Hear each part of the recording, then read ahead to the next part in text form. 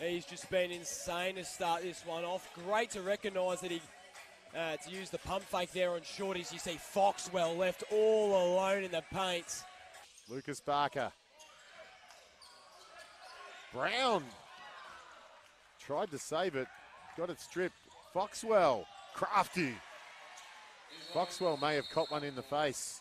This nature of this Frankston team is they've just got weapons all over the court. It's an equal opportunity offense that Andrew Harms runs as we see a nice finish inside. Barker now 15 points leading all scorers. The 2024 NBL champions with the Tasmania Jack Jumpers just arrived on Saturday morning here at Frankston.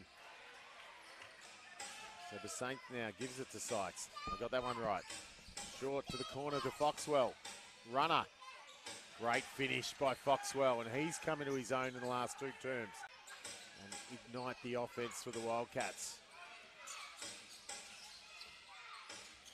Oh, over the outstretched arms of Tris. Foxwell is starting to take over. Foxwell. Foxwell hits from deep. Frankston have just responded each time. Maybe not on that instance, but that's really been the tale of today. Foxwell drives to the hoop. Basaint hands off to Foxwell. He's been good. Foxwell finishes at the rim, and that's going to be all she wrote in this term. So Foxwell with an explosive term. Foxwell, so crafty, finishes.